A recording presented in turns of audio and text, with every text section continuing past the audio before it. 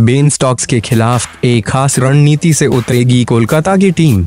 Kolkata Knight Riders Indian Premier League, IPL के दसवें संस्करण के अपने अगले मैच में राइजिंग पुणे सुपर जायंट के बल्लेबाज बेन स्टॉक्स को जल्दी आउट करने की रणनीति के साथ उतरेंगे। कोलकाता और पुणे की टीमें बुधवार को आमने सामने होंगी। कोलकाता नाइट राइडर्स करेगा जल्द से जल्द बेन स्टॉक्स को आउट करना। आईपीएल 10 के सबसे महँगे खिलाड़ी स्टॉक्स ने सोमवार को गुजरात लायंस के खिलाफ तिरसठ गेंदों में 103 रनों का पारी खेलते हुए पुणे को जीत दिलाई थी। उनकी यह पारी उस समय आई थी जब पुणे ने 10 रनों पर ही अपने तीन विकेट खो दिए थे। वहीं कोलकाता नाइट राइडर्स इस मैच में सनराइजर्स हैदराबाद के हाथों मिली 48 रनों की हार के बाद उतर रही है।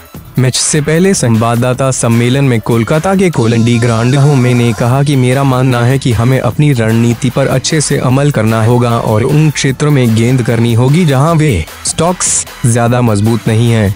ग्रांड होमे से जब पूछा गया कि क्या कोलकाता नाइट राइडर्स का निचला क्रम टीम के लिए चिंता का विषय है तो उन्होंने कहा, मेरा मानना है कि निचले क्रम को जितना मौका मिलेगा, वे उतना बेहतर होगा बल्लेबाज अपना काम अच्छे से कर रहे हैं, जो अच्छी बात है ग्रांड होमे ने कहा कि व्यक्तिगत तौर पर आईपीएल का अनुभव उनके लिए शानदार रहा है।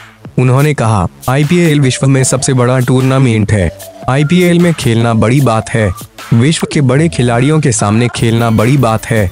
उन्होंने कहा, आप सर्वश्रेष्ठ कोच, कप्तानों और युवा खिलाड़ियों के साथ रहकर काफ़ी कुछ सीखते हैं। Thank for watching. Subscribe now to receive new updates every day. And don't forget to drop a like, leave a comment.